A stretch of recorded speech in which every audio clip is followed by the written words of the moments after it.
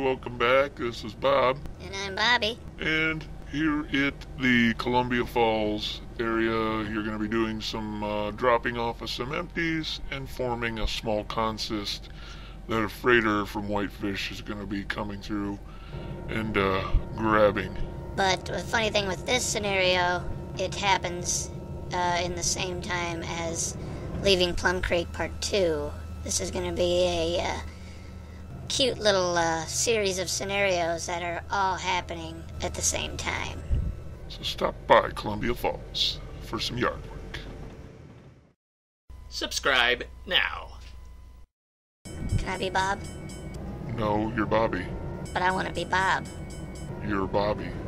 No, I'm Bob. Bobby. Bob. Bobby. Bobby. Bob. Bobby. Bob. Bobby. Bob. Bobby. Bobby. Bob.